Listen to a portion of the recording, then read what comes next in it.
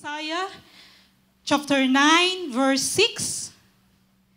Okay, sa NIV version, ingon pa niya din For to us a child is born, to us a son is given, and the government will be on his shoulders, and he will be called Wonderful Counselor, a mighty God, everlasting Father, and the Prince of Peace. Magaampo ta?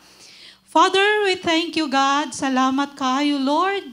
Hindi ikaw kauban na mo, hindi nga Domingo, ha? Your presence is here right now, Lord God. And your word, oh God, magkigistorya din ka na mo, Lord. Sa matag kasing-kasing, oh God. Sa tanan nga naminaw sa imong pulong, Lord. Ana ikaw, oh God, diha sa ilang taliwala, Father God. Thank you for your Holy Spirit. Be with us this morning, Lord God. Bless your servant, Lord. In Jesus' mighty name we pray. Amen. Tagan sa tugpakpakan Ginoo. Amen. Praise God. Hallelujah. Tungod kay daghag youth karon, expected na ko nga dili ta magpaluya-luya, no? Na daghag response na to din ha. Amen ba? Diya sa likod. Praise God. Yan nandiyo kumuwali diri ba kay ang likod grabe maka-respond. Praise God nga dili ta sige og tan-aw sa itong mga oras tungod kay atong ihatag ang time, mga atong oras karon para sa pagpaminaw sa pulong sa Ginoo. Amen. Amen. Praise God. No di na to sayangan ang atong oras karon. Let's uh, let's study the word of God and I know and I do believe that God will speak to your heart this morning. Amen. Praise God. In this passage, Isaiah speak of four titles for the Son. Kinsa man ang son nga ginasulti. For to us a child is born, which is Jesus Christ. A child is given, gihatag niya di, kanato. And that son, adunay four names, no? And his name is the name above every name. Amen? Isaiah give us in this passage and relate them to our lives right now that these four names is the name above all names. The name above all names. Timing kay Christmas party di ay sa unyang hapon. So this message is for all of us as we celebrate this coming December 25. No, as we celebrate Christmas, So as we celebrate Christmas, we should know why we celebrate Christmas. Nganong nag-celebrate man tag Pasko? Ang uban, wala ana. Ila New Year lang. Walay Pasko sa uban. Why Christians celebrate Christmas? So this uh, title this morning is The Name Above All Names. Importante mahibala nato that Jesus Christ has four names. No, gititle siya sa four names. Wonderful Counselor, a mighty God, everlasting Father, and the Prince of Peace. Wow. O kining upat, makita na to na siya because the nature of Jesus Christ has two nature. Duha ang nature sa atong Ginoo. The divine nature and the human nature. It means to say 100% God and 100% human ang ato ang ginasimba. Amen? And this morning, ang kining nga mga four names ni Jesus nga title sa iyang pangalan mo naging ano nato the name above all names. Sounds familiar, no? The name above all names. Walay lain kundi si Jesus Christ. Amen? Pakpakan na to ang ginoo niya na. He's only the name above all names. Wala na ilain na. Okay? Wonderful counselor. Okay, let's begin for the word wonderful counselor. The name counselor is an adjective, is one who gives advice, no? Leads or defends someone. Kisa ba diri ang naka-experience na nga nagpa-counsel, nagpa-advise? Nana ba naka-experience sa inyo ha? Nangayo mo advice, tungod sa yuta ba, tungod kay nagbulag mo, unsaon para magbalik mo, di ba? Ingana, ang moadto ka sa usa ka usa ka person nga gusto nimo nga ma-settle pa, ma-save pa ang relationship. So moadto ka sa usa ka ka mga expert about counseling, no? Kung mo nang importante nga kung magpa-counsel gani ka, ang imo ang adtuan katong mga expert pod. Muna nga moadto ka sa usa ka counselor. And diri sa earth, aduna tay ginatawag nga mga counselor. O gaduna po tayo ginatawag usab mga mga divine counselor. Kinsa man to mga divine counselor. Muna amutabang to help us when they are applying the word of God to our situation, which is the pastor. No? Nga magpa-counsel ta. Ano ba mga youth dire nagpa-counsel? Silang pastor? Nagpatambag? No? Nag, nagpa pastora or pastor jud ko gipanguyaban ba pero di ko sure kung nakagusto sa ako ah. Or unsa ba ka nag nagproblema jud ko sa akong pamilya kay hantud karon. Ingani ingana ingana nga mga senaryo sa kinabuhi. Nagpa-counsel. And that is very important.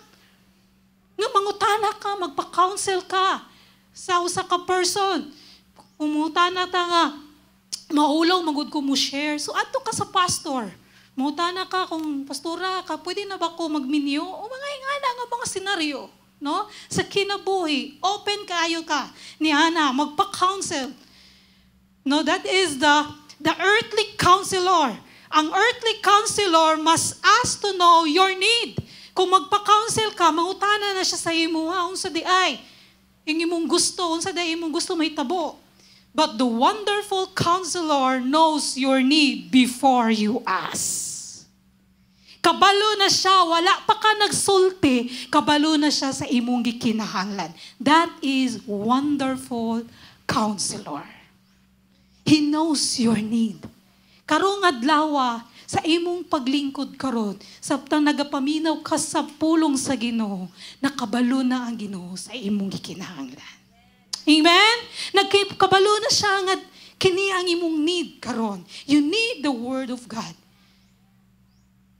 counselor must knowledge of the person. Kay kung magpa-counsel daw ka, kana counselor, kailangan na doon na siya knowledge about sa imuha. So muna mangutana ng counselor. Always begin of asking question. No, mangutana na siya or seeking to get the counselor to discuss. Sa amo ang sakta nga nag-eskwela pa ko sa Bible school, na doon namin ginatawag nga pastoral ah, counseling, no? Nami nga nga subject. Isa sa akong mahinumduman, once nga mukpak mo, na dunay mo pa-counsel sa imuha, as a counselor, dili dayon ka mo jump into conclusion. Let the counselee nga to solve his problem or her problem. Ang imuha lang din na mangutana lang ka. Nga at the bottom line, unsa may gusto nimo mahitabo karon. Ana, dili ikaw ang musulbad sa iyang problema. Allow him or her to solve his problem. Muna akong nahinumduman. But kay Kristo, the Son who was given, ingon pa niya, dili na na kailangan pa mo entro sa atong problema. Because your need, ang imong weakness, ang imong ginahimo, He knows you well. Kabalo na siya He knows your history. He knows all about you. So the earthly counselor must ask before your need, mangutana sa siya about your need, but the wonderful counselor knows what you need before you ask. Kabalo na siya, wala pa ka nagsulti, kabalo na ang ginoo sa atong gikinahanglan. According to Matthew chapter 6 verse 8, Do not be like them, for your Father knows what you need before you ask Him. Mao nang nakanindot sa atong ginoo. Wala pa ka ni sulti, nasayod na ang ginoo sa imong gikinahanglan karon. Pakpakan na to ang ginoo. Amen! He knows you. Napakasatihan sa imong mama, kabalo na ang ginoo diha kanimo. Kabalo na siya unsa ang unsa gyud ni mataan eh. Unsay purpose nimo nining kalibutan na. Kabalo ang Ginoo niya na. Number one, He knows your past. Kabalo ang Ginoo sa atong mga past. Kabalo ang Ginoo. The Lord knows our past. Every moment of it.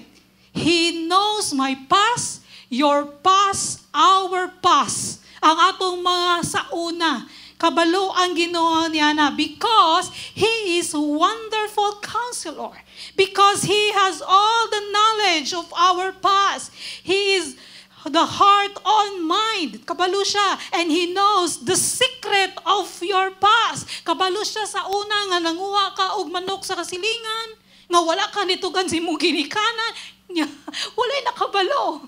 Ikaw lang. Pero kabalo ang ginoo. Kabalo ang ginoo nga naguyab-uyab ka. Nga wala ka ni sulti sa imong mama. Kay sikreto kini.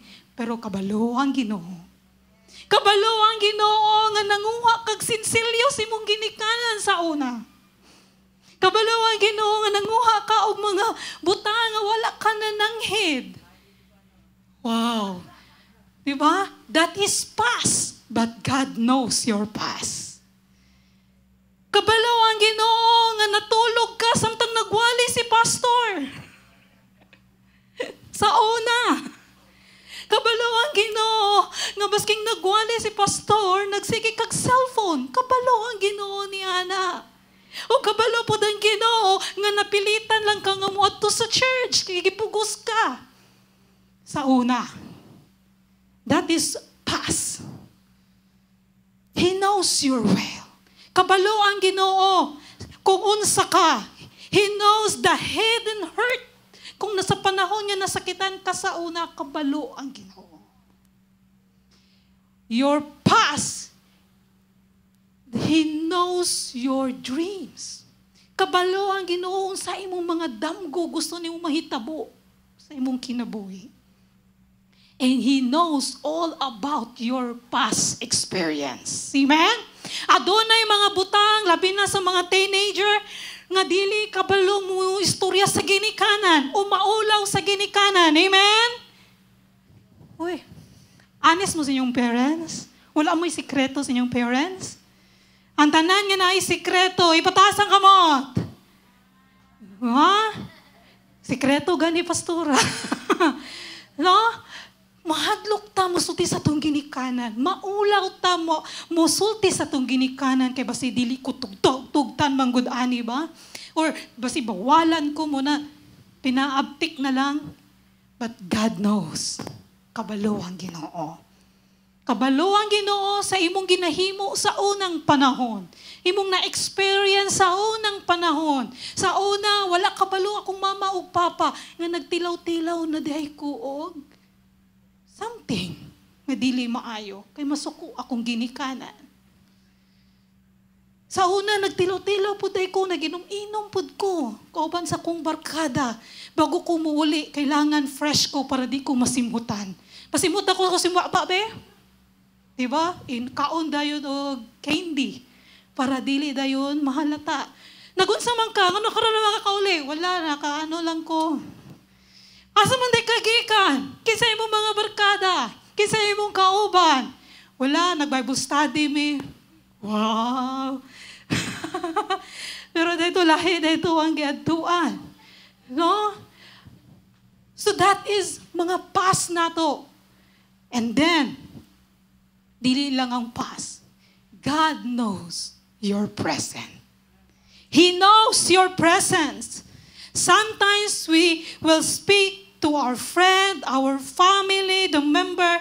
Ambot lang kung nahaba sa inyo makarelate, ani musulti na you can't imagine what I'm going through right now. Wala lang kakabalo. Brother, sister, mama, papa, kung unsang ako ang gibati karon, di ba? Sus, kung kabalo lang ka. Di ba? Kasi na makasultihan na. Nakasad ka problema, daghan kay gigistorya ang ginikanan. Tapos wala ka sa kuan. Musulti dayon ka. Ay, fama, kang kabalo lang mo sa akong gibati. Di ba? Muana ta. Pero kabalo mo, kung nga Ginoo mo sultihan niya na, He knows. He knows your present. He knows your feeling.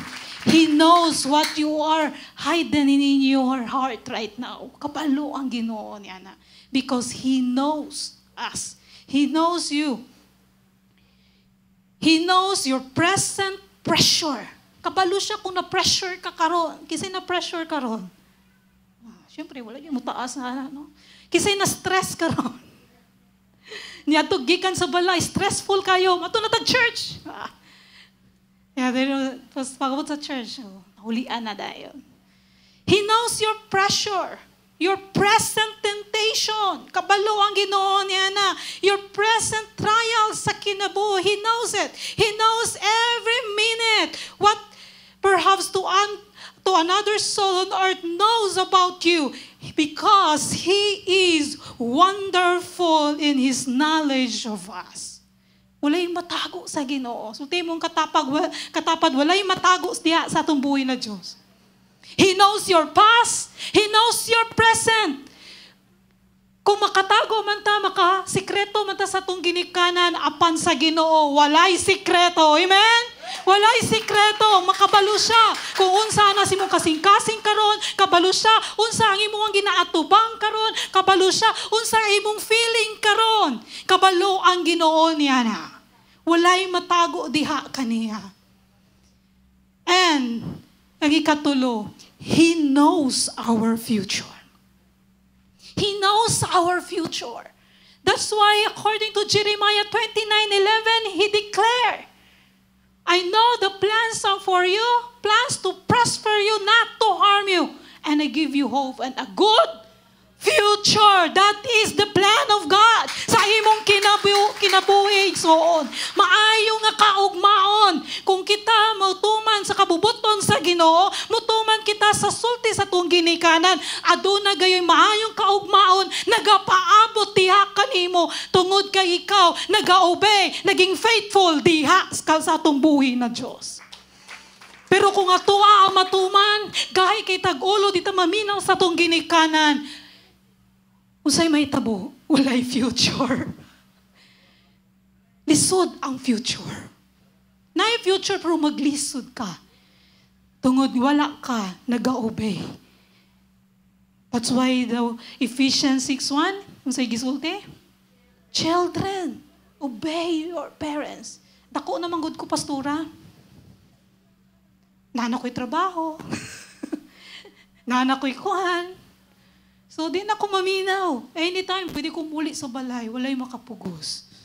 Always remember, ang ginoo nagbutang og parents aron sa pag-guide kanimo nga magdako ka nga anaa sa kabubuton sa Ginoo.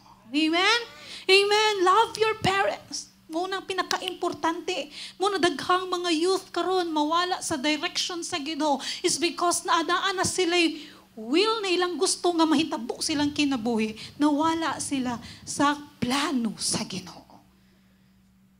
Nawala sila sa plano sa Ginoo. Always look back kung kinsa ang nagbuhi diha kanimo. Lisod ba yan ang ginikanan kung mangluod? Kay masangpit yun ang sa unang panahon. Ibalik yun na tanan sa imo. Kay tungod, araw lamang kita makahinumdom. Pero ang Ginoo, He knows. He knows kung unsa ang may tabo sa imong future, kung unsa ka sa imong future, kabalo ang Ginoo niya na. No earthly counselor can boast that he is aware of the future of the person. Walay nakabalo kung kinsa, umaunsa ka, pagdako nimo, walay counselor nga makabalo niya na. No? Our Lord knows what is ahead of us. He is able to see the future and to guide us through the lands, landmines that, that dot our future landscape. He alone can do this. Walay lain na kabalo sa tong future kundi ang Ginoo lamang because He is our wonderful counselor. Maliban lang kung mutuo mo sa mga dili counselor, kana mga palad-palad. Kasi naka-experience na ni Ana. Bi, patanawa ko sa imong palad, be. Gwapo kay mong future ba? Mga nakagtulo, makaminyo ka ani. Basta dili lang ka magkinuripot. Ana ba? Iana, basahon ang imong palad para makaibalo ka sa imong future. Nalala sa imo, kumutuo ka. Pero ang Kristohanon, ang future, naa sa Ginoo. Amen! Praise God! Naa sa Ginoo atong future. Basta niya gisulti dito sa palad, kutob lang baya ka five years diri sa kalibutan. Oh, na. No? Wala na. Pero ang Ginoo ang magnumawi ato ang tuuhan. Dili ang mga unsa man na dinhang ang mga mga ginatawag nila nga mga fortune teller. No? So dili ta mo tuong mga ingana. Masinamoy mga lula, mga lolo, nga ingana, no? Ayaw ninyo ibutang ang inyong faith din ha. Tungod ang inyong faith anaa diha sa Ginoo. Amen. Tungod diha kay Kristo, hatagan tagtaas nga kinabuhi o maayo nga future. Amen! Hallelujah! Tagaan tag maayong future because anaa kita nagasubay sa plano sa Ginoo. Because our God is an omniscience God. Tulo ang attributes sa atong Ginoo. Tulo ka omne. Omnipresent, omniscience, omnipotent and kanyang wonderful counselor. He knows everything. He knows our past. He knows your presence. He knows your future. He is the omniscience God. Pasabot na all-knowing. Nasayod siya sa tanan. Walay matago diha sa Ginoo. Kung karon namo aduna mo mga sikreto karon, sultihan ko kamo, itugyan na na tanan diha sa Ginoo. Ug kana mga sikreto ninyo nga dili maayo, itugyan sa Ginoo og biyai na kana. Amen. Amen. Ayaw pundo ni ana kay dili na makatabang kanimo karon. Kung naa kay duha ka uyab karon biyai ang isa. Dapat isa ra gyud. Amen. Amen. Dapat maging faithful ta sa isa. No? Dili pwede duha-duha. Yan apat sa pikas na po. Wato sa pikas lugar, lahi na po dito. Lahi po diri sa Davao, lahi po dito sa Kuan. So dili mo di na. Amen? Amen? Tama na. Isa lang yun. No? Kay tungod kay kasapaan ta sa ginoo. Bunalan ta sa ginoo niya. Amen? Praise God. Number two, mighty God. Unsa maning mighty God? We need power, amen? Kasi nakinalan ka home there is diya sa buhay na Diyos. Amen. Praise God. We need the power beyond ourselves and we need the power to do something useful and helpful for our lives. Kinahanglan na to ang power. But the most important power we needed today is the power of the Almighty God. He is the omnipotent God, the power of God. He has the power to save, to lead, to keep, and to finally take us home to live with Him. Tungod sa gahom sa Ginoo, ang kita karon naluwas pinaagi sa grasya sa Ginoo. Amen. Praise God. He is our Savior. He saved us. He has the purpose in His power that His power that can meet our our deepest need. Muna nga kinahanglan na to ang gahom sa Ginoo. He is the mighty God. In Hebrew term, the word mighty means champion or hero. If we say champion, is the one who is left standing after a conflict is over. A champion is the one who still stand with all others have fallen and failed. So, so kung champion ka, ikaw na lang yung nabilin. Tanan, pildi na. Ikaw gyud ang nahibilin na lang. Munang champion. And this is the beautiful picture of Jesus, our Lord. He is our champion. Amen? He is the mighty God. Oh, nakailaman mo na, no? Si Heidelin Diaz. Tama ba? No? Champion. Gold medalist. Sa Japan, sa Japan Olympics. No? Na-defeat niya other countries. Example, sa iyang nag karon ang mga babae karon inspired kayo.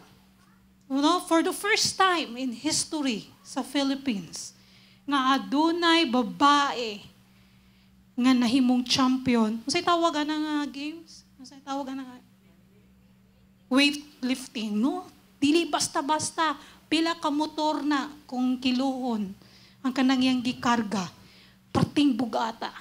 Kay tanan countries, pildi, siya na lang ang nabilin. Pakpakan na to ang ginoo niya. No, proud ta as a Filipino. how much more sa atong Ginoo?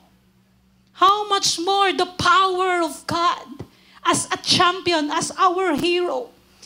Kabalo ba mo,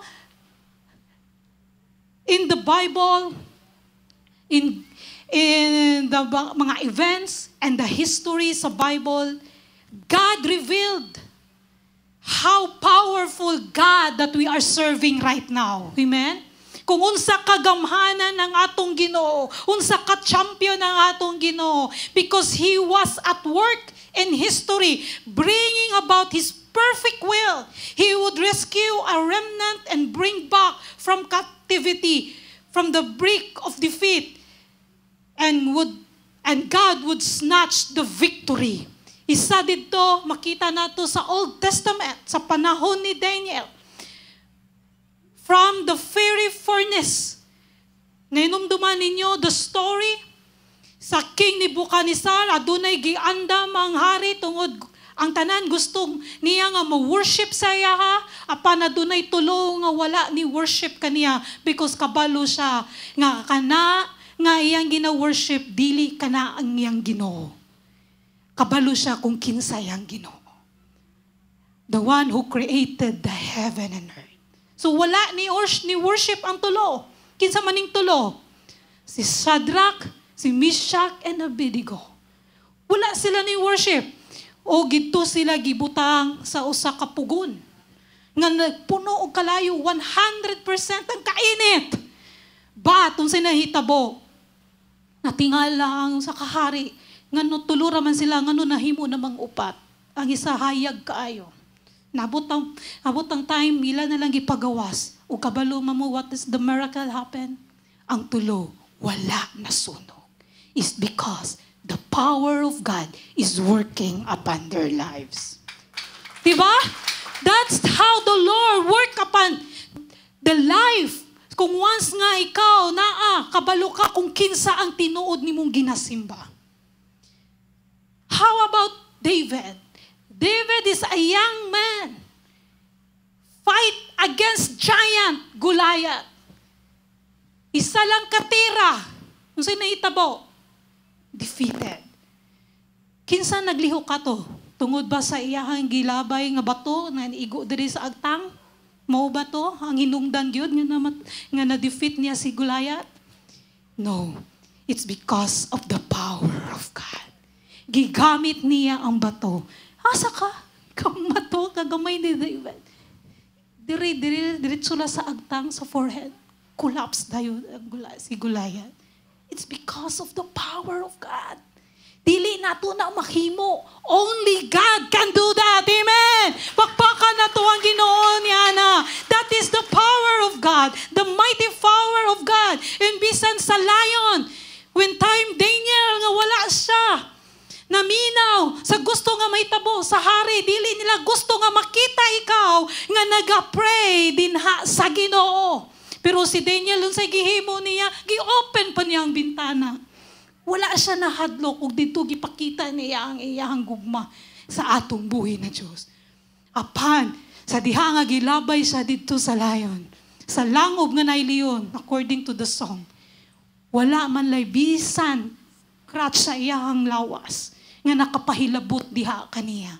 Tungod ang Ginoo. Kaupan niya. Amen? That is the power of God unsa pa mga buhat sa Ginoo nga naa didto sa panahon nga sa sa panahon nga naa sa Old Testament how the Lord is working in the history God is the God of history. He is working in events, even we cannot see it. We cannot understand. We cannot feel that God is working. But still, God is working. Amen? Naggalihok ang ginoo. Bisan wala na to kini nakita. Bisan wala na to nabati. Paano ginoo nagalihok sa tong kinabuhi. If you believe, kung tuuhan mo nga ang ginoo magalihok, ang ginoo magalihok. Because there is power in your faith. Wow, grabe no? Kana nga mga history, dili ila na siya nga istorya o story. Tinuod ka na nga nahitabo. Real. if you look at the birth of Jesus, kung tanaw na to sa New Testament, daghan nagpangita kay Joseph and Mary. Bisan asa sila mo adto, ang Ginoo nagapadala og anghel aron lamang sa pagsulti nga moabutay na ang mga tao nga nagapangita kaninyo. Giproteksyonan gid nila. Nila ang Ginoo nga dili gayod mahilabtan kay tungod na dunay plano nga patyo ng atong Ginoo. How the Lord protect. If you look at also when Jesus nagfast siya ang, ang kaaway, Satan, nagatintal kaniya. Kapila siya gitintal sa kaaway. Three times. Three times, if you remember. Ikatulo siya gitintal sa kaaway, apan wala gayod. Wala gayon na himo ang kaaway because He is our God. He is the powerful God. Amen? Amen? Kung na-remember ninyo, kung ikaw anak sa ginoo, kuyaw kayo ang kaaway ha? Si Satan. Kung ikaw anak sa ginoo, kining bato, buhatang tinapay. Panang ginoo, wala gayud. Dapat, yung makita nato, how the Lord, even Jesus Christ, ha? Ginatintal sa kaaway. How much more kita nga nangalagat sa ginoo. Basi gamay lang unyang tintasyon, maluya na dayon ta. Gamay lang unya nga mga pagsulay, di mo barog. Always remember, when you are in Christ, kung naan nakadiha ka Kristo, ang kaaway, anaa, magalibot-libot diha kanimo, tungod gusto sa, sa kaaway, ikaw, madala diha kaniya. Dili niya gusto nga magpadayon ka sa pagpangalagad sa ginoo. Dili niya gusto nga magpadayon ka mo simba. Dili niya gusto nga ikaw ma-enjoy nimo ang presensya sa Ginoo. Ang gusto niya nga malaglag ka didto sa sala. Amen. That is the purpose of Satan sa matag usa ka nato. But always remember, God that we are serving is a powerful God. Amen? He is a powerful God. And kung doon na may mga atake sa kaaway, let's rebuke it in the name of Jesus. Amen? Dili ta magpadalas sa tentasyon. And one of the story, the best story nga nga isa nga nakahatag ka na ko og inspiration kaning storya ni Joseph. When Joseph no nga gi giabandon siya sa iyang mga igsuon. Gisold siya, gibaligya siya. Unya nahimo siya ang slave sa Egypt. After a years nga milabay, tungod sa nahitabo kaniya, nahimo siya nga second of the highest position sa Egypt. Taas na kayo yung ranggo in the second. No, ikaduha, ikaduha siya nga taas og ranggo sa Egypt. Sa diha na balitaan niya sa iyang mga igsuon, nga iyang, iyang igsuon dito is dako na daig ranggo na ngadto sila. And then, makita na to sa story nga nagpakiluoy ang iyang mga igsuon. Ug nahadlok sila kay tungod aduna nay power si Joseph nga para ma-execute niya ang mga igsuon. Kung ikaw ako ang igsuon, kung tawhanon ta, imo kong gibaligya, niya karon magpakiluoy ka sa ako ah. Di ba? Pero dili nga na ang kasing-kasing ni Joseph. Tungod siya nangalaga diha sa Ginoo. Kabalo mo sa iyang gisulti? You meant it for evil. No, gusto ninyo maadto ko sa dautan. But God meant it for good. Ang ang inyo ang gusto, maadto ko sa dautan, pero ang Ginoo dili kanayang plano sa akong kinabuhi. And that incident happened, nahimo siyang turn into blessing. Sometimes sa atong kinabuhi, daghang mga butang nga dili na to gusto nga mahitabo sa atong life. Wala na to gi-expect kay negative kaayo siya. But as we continue to follow, wala gyud ta ni, ni buhi diha sa Ginoo. That problems, that trials, Gamiton ka na sa Ginoo turn into a blessing. Makpaka na to ang ginoo niya. Muna ayaw og surrender. Ayaw mo og surrender. Because according to Romans 8:28, God can make the evil into good.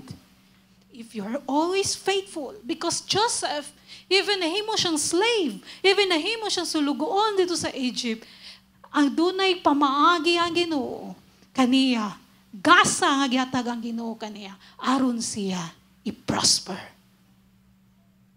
Ayaw kahadlok kay kauban nimo ang Ginoo.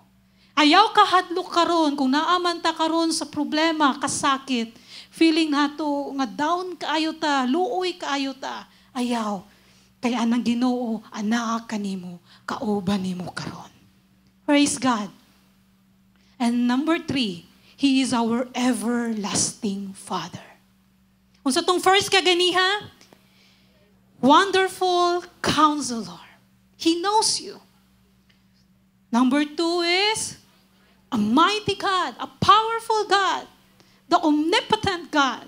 And number three, everlasting Father. He is our eternal Father. Amen. In Psalms 103, namoy Bible din ha, nindot kayo ang word ni Lord din ha, gisulti sa Psalms 103. Basahon ako sa Bisaya version, naman tay English version din ha. Ingon niya din, Daiga ang ginoo kalagko, ang tibuok kong pagkatao, mag, ma, nagdayig sa, ba, sa balaan niyang ngalan. Daiga ang ginoo kalagko og ayaw kalimti ang iyang pagkamaluluyon. Gipasaylo niya ang tanan kong mga sala o giayo niya ang tanan kong mga balatian. Giluwas ako niya sa lubnganan o gipa nalanginan ako sa iyang gugma o kaloy gi hupong niya ako sa mga maayong butang aron sa ingon magpabilin akong batanon ug kusgan sama sa agila. So makita nato dinhi how the Lord the heart no the heart of our Jesus naagid ang iyang gugma kanato. Naagayod ang iyahang first he forgive us. That's the heart of a father what the Father does for His children. Kita yang mga anak. Unsa ang pwede niya nga mahimo diri kanato. Number one is, He forgive us. Gipasaylo ta ni Kristo. No? Gikalimta niya. Unsa ang mga butang natong nahimo diha kanina, kaniya. Without His forgiveness, we cannot have relationship with God. Wala tayo maayong relasyon sa Ginoo kung wala tayo gipasaylo sa Ginoo. Muna pasalamatan nato ang Ginoo ni Ana. Amen? Because He forgive us. He forgive you. Gipasaylo ko sa Ginoo. And David know. Muna yung gisulat na He need, uh, he need you to forgive. God forgive us And he also knew the joy that divine forgiveness can bring to the human heart and soul. Lami kayo ang joy nga tong bation kay tungod kabalo kita nga gipasaylo kita sa Ginoo. Amen. Lami kayo nga mag-worship sa Ginoo because he, we know that God forgive us. Gipasaylo kita sa Ginoo. Gihigugma juday ko sa Ginoo. Wala lang ta niya gipasaylo. Number two, He heal us. Nga giayo ta niya. Gihil. Kung sa may pasabot ni Ana, wala lang ta giayo sa Ginoo physically, spiritually, bisan sa atong emotion, sa atong mga ginabati. And gusto sa Ginoo kung unsa ta before sa ato ang mga binuhatan, just like a clay nga gipurmata niya og bag-o a better you. A new, bagong ikaw. Tanawa daw imong dagway karon. Wow. Makita ba niyo mong dagway sa imong cellphone ba? Mag, mag, mag, mag-picture ka, mag-selfie ka. Wow, lahi ra gyud akong dagway sa una. No? Makita na gyud ang glory sa Ginoo. Makita gyud nga lahi ra gyud ko sa una. No, kung sa una imong buhok siguro ah, grabe ka kuan, colorful kaayo. Unya daghang kay mga bisan unsa nga mga kurete sa dagway, tungod gibag-o ka na sa Ginoo, nindot na ang himong hinapay, tanawa din mong katapat, nya wala na ang mga something sa dalunggan, ang uban punoon pa ang isa kadalunggan, puros aritis din he, napa pa dira? No? Karon kay tungod gibag-o na ko sa Ginoo, wala na. Kay tungod lalaki ko, babae lang nga dunay aritis, tama ba? Amen, amen. Praise God. No? Muna nga, i-check po na to atong dakway. Lord, gibag-o na ko nimo physically. Giayo ko nimo physically. Gi-change ko nimo into a better person. Nga lahi na gyud ko sa unang panahon. Tungod gibag-o ko nimo Gi-change nimo akong pananaw, gilahi na nimo akong pananaw. Dili na ko lahi na akong mga mga istorya sa una. Sa una negatibo kayo ko karon, positibo na kayo ko. Amen. Amen. Hallelujah. Mas ginatan-aw na ko unsa ang makanindot. Unsa ang makapanindot mga sa akong kinabuhi, unsa ang maka mahimo pa nako ug unsa akong pwede idalhon nga kalag para sa Ginoo. Amen. Lahi, lahi na ang imong pananaw. Gusto na nimo nga nga mo follow na gyud ka, mo muhimo na gyud ka because God is working in your life. God is working in your life. And next is He work. Ang Ginoo nagalihok gayud sa atong kinabuhi in Romans 8:28. Sa isulti niya din ha. Kabal na ta dira? Romans 8:28, but God demonstrated his own love for us in this. While we were still sinners, Christ died for us. Since we have now been justified by his blood, how much more shall we be saved from God's wrath through him? Tungod giluwas ta ni Kristo, makita na sa tong kinabuhi nga kita gibag-o sa Ginoo. Pakpakan na to ang Ginoo niya. Hallelujah. No? Nindot na ang mugawas sa itong mga baba. Nindot na mug, ang matong giunahuna. Dili na pareha sa una. Gusto nato nga atong ginikanan nga malipay siya sa atong kinabuhi.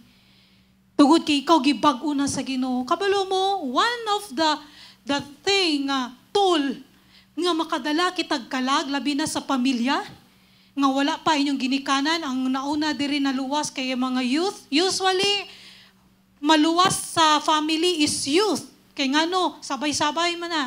Sabay-sabay sa barkada. Kunya, ang family is napalang gihapon. Pero once nga makita sa ginikanan, uy, lahi naman si Kuan, si, bra- si brother, si junior, unsa man. Lahi man ni, sa una, kay grabe man ni maka-ML. Halos wala na may time. Magstorya kay nakatutok kanunay sa ML. Karon, Bible naman ang giabrihan. Wow! Sa una kay daghan mo text, Brad, asa ta? Dito ta. Kaon ta dire. Asa ang mga kuan, kalingawan. Pero karon musulti naman ang ang mabasahan sa text sa ginikanan. Mag-Bible study ta. Asa ang online na to nga service. Hindi nga na, lahi na. So kana ang gusto madungog makita sa atong ginikanan. Amen? Kung kana may tabo diha kanimo, for sure, ang imong parents, musabay pod na, unsay nakapabago sa akong, sa akong anak. Sabay daw ko, asa ka nagasimba de karon. Sa sunod mo, ano na inyong ginaganan. Sige, sabay ko, asa ka, musimba po ko. Amen? Malahi na ang direction. Sa una, ang ginikanan mo dala sa anak. Karon ang anak na amo dala sa ginikanan. Amen. Pakpakan na to ang Ginoo niya na nga gamiton kita nga instrument nga kita mahimong living testimony because God is working in our lives. Ay, dili na to sayangan ang atong oras. Samtang napata diri sa kalibutan, gamito ng imong kinabuhi. If you are willing to use by God, ipataas ang imong kamot. Amen? Praise God. Daghan pa mga parents, no? Nga wala pagyod diha sa kamot sa Ginoo. Or mga igagaw, mga relatives, no? ug kamo ang gamiton sa Ginoo niya na. And last is the Prince of Peace. Siya ang hari sa kalinaw. kinsay gusto og kalinaw din Amen. Bakbakan na to ang ginoo. Kitang tanan, gusto na to ang kalinaw. Kung mapalit pa lang ang kalinaw, lami kayo paliton. Pero dili na mapalit ang kalinaw. Ug ang kalinaw, makita lamang nato, mabati lamang nato, kung naa kita kay Kristo. Kung naa kita kay Kristo. Muna, importante kayo ang peace. Peace in the Hebrew word is shalom. So, mong katapad, shalom. Muna, kumuadto mo sa Israel, tudluan na tamudaan, ang ilang greetings dito, makadungog dayon mo, shalom. Because that is, in the Hebrew word is, peace. Peace be with you. Shalom. Diba, lami kayo. Muna makakita mo sa post, sa mga kuan, na manay word na shalom. Ang meaning na peace, kalinaw. And the Greek word of peace is eren, which means unity and accord. Adunay, pasabot sa eren is unity, magkahiusa. Kung adunay panaghiusa, adunay kalinaw. Amen. Pakpakan na to ang Ginoo. Muna kailangan nato peace. Kailangan nato kalinaw. So kailangan nato magkahiusa kita. Walay red din eh, walay yellow din eh, walay blue dire, kitang tanan, usa lamang diha kay Kristo. Amen! Praise God! Bakbaka na to ang ginoo. Kay hapit na baya, basiwin niya, kaya makabalo nga, unsa day ka, kuhan ko, kani akong color, kani, ah, wala, basi, lain na ni brother rin, mani suporta kay sister, wala, dili na to apilon din na, no? kay kita, usa lamang kita, magnagkayusa kita. No? Ado-ado na tayo respeto sa matag usa ka nato. And God demonstrate His own love toward us. And that why we were yet sinners, Christ died for us in Romans 5.8. Kasi sulti sa Romans 5.8. O, mo na itong gibasa kaganiya. That Christ died for us. No, gipakamatyan gyud ta sa Ginoo. Muna malipayon kita kay wala na to nagibayaran. That is free. Nga gihatag sa Ginoo diri ka nato.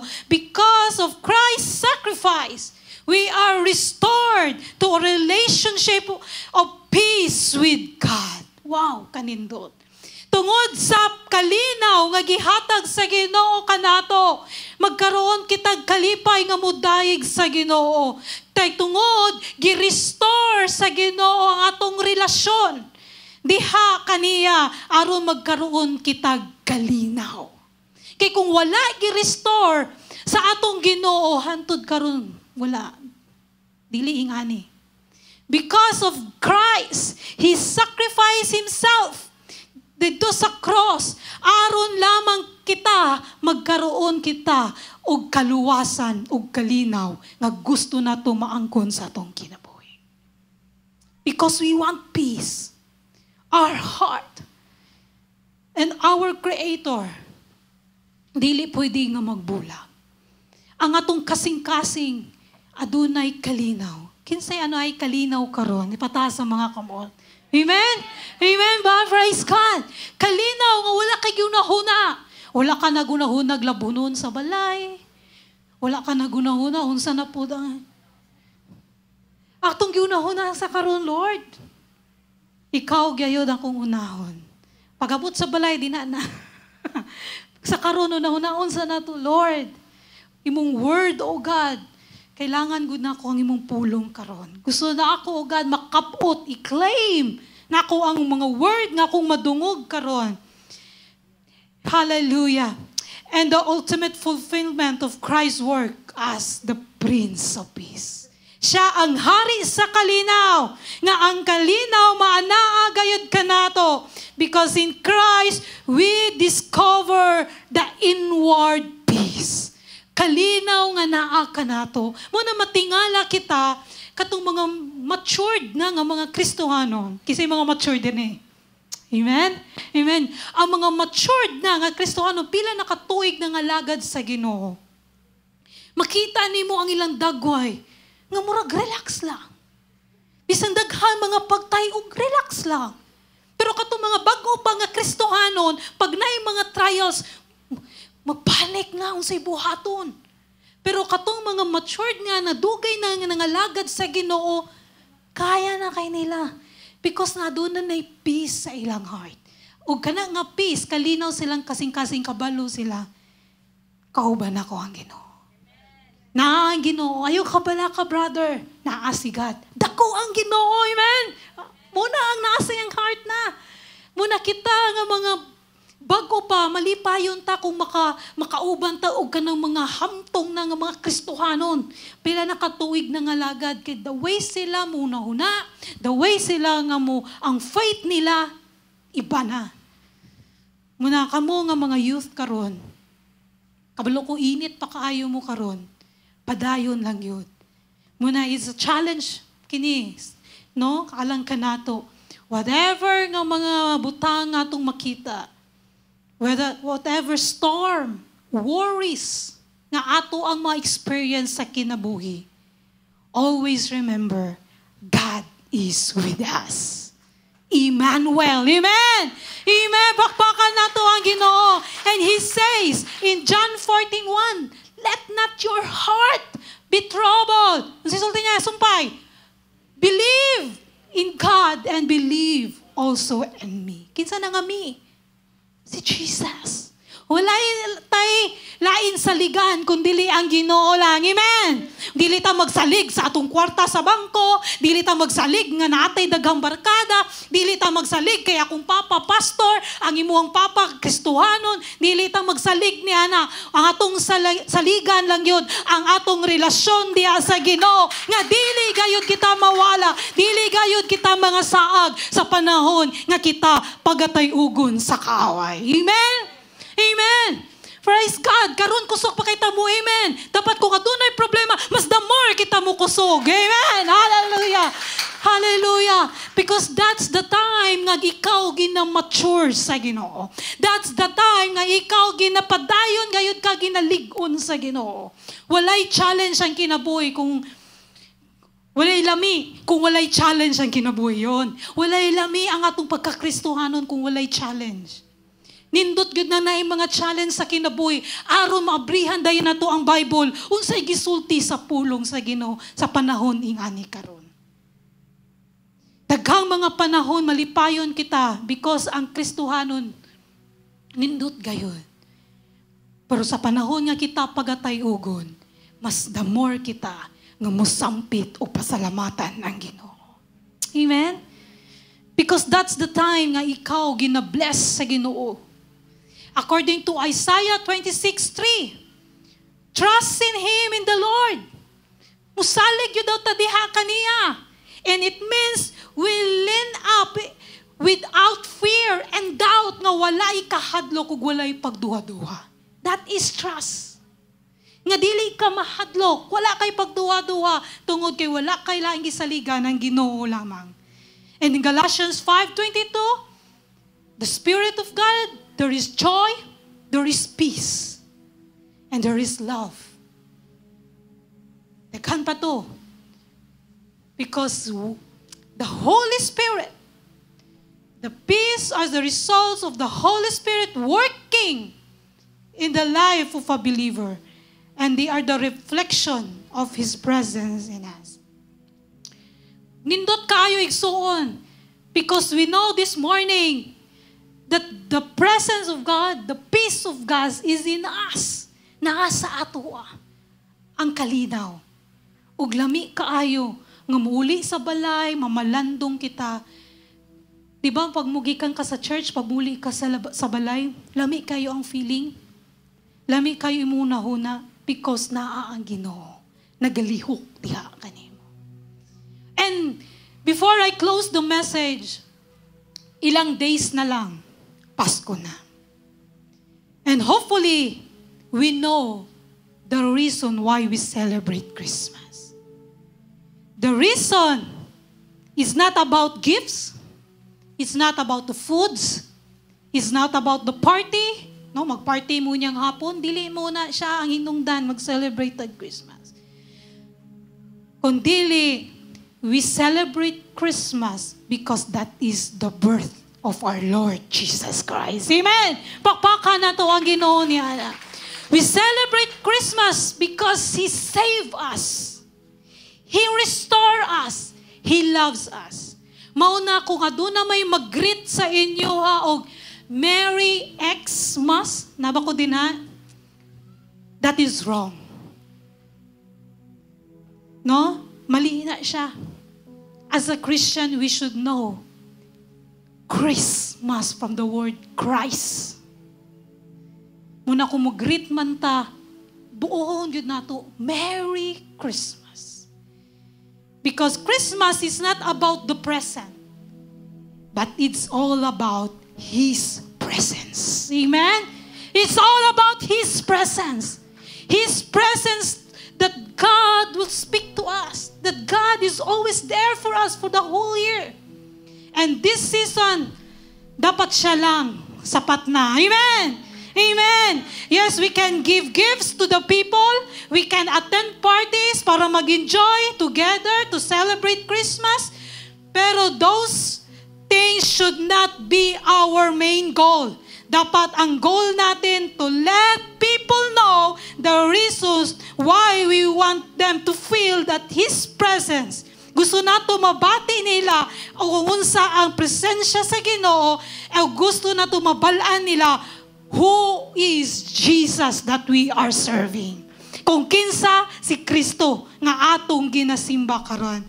Muna nga salamat ta by the grace of God we are saved.